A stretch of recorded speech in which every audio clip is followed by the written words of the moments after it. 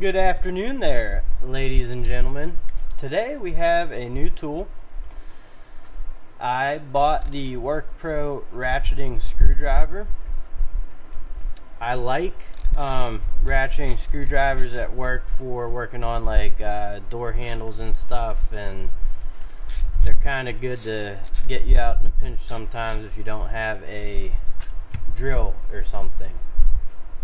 I know a lot of people some people don't like them, some people do. I've found a purpose for them. I did have the uh, Rollo gear. Um, I forget who made that. Um, but that was really nice one. Uh, kind of the same concept with the tips up here, but it got water in it and it screwed up the ratcheting mechanism. It no longer functioned move on to this one. Uh, this is a Channellock, and it's actually been very, very good. I, have liked it. Um, pretty nice bits up there, you know, storage bits. This one I like a lot better. I also have this one at home. It's a Craftsman. Um, but see, you just get the the tips, which I just find are harder to get in and out. Um, it does work well, but I don't know. I like the the bits to be a little bit bigger, and that's what brought me to the WorkPro. Is it has these long bits, and apparently it says quick load system, uh, tight lock, and it has the storage up here and it has the long the long bits. Um, like I said I've, uh, I do like this one. If you're in the market for one I would highly recommend this. I know this isn't um, I think uh, Yoda Doug said that these are all basically made by the same company he told me. Which I believe it they're all pretty much pretty much the same. Let's get this one opened up.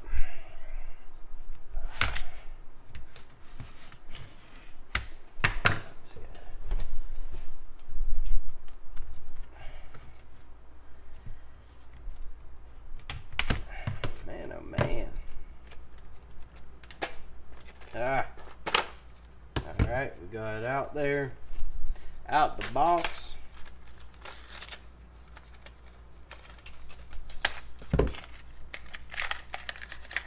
And we have, all right, let's see. All right, so this is the quick release. You pull down, pull out, insert new bit, release, and it's in there.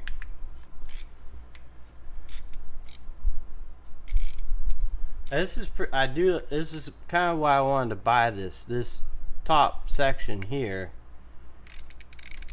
is metal.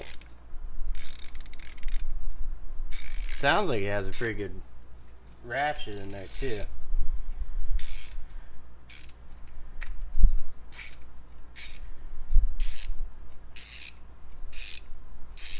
So that's what that one sounds like.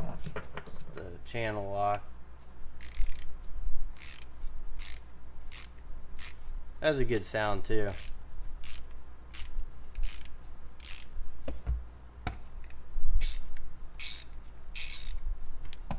And the Craftsman, you can't, you can't hear anything. So I don't even know, you know, what the, if there even is a ratchet, ratcheting system in here. It really doesn't sound like it. You think you'd hear some teeth. This one's a little louder than the Channellock.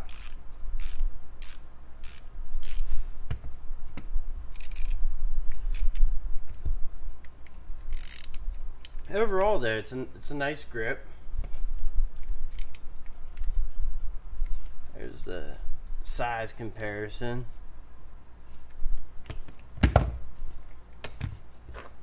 And the bits you get uh, Phillips 2, square 2. You get a 5 and a 4 flat. You get T15, T10, Phillips 3, Phillips 1, square 3, square 1,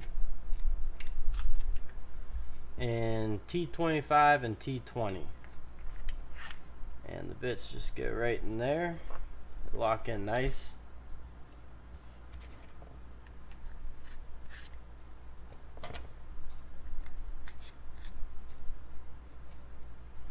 And we'll put the Phillips head in there.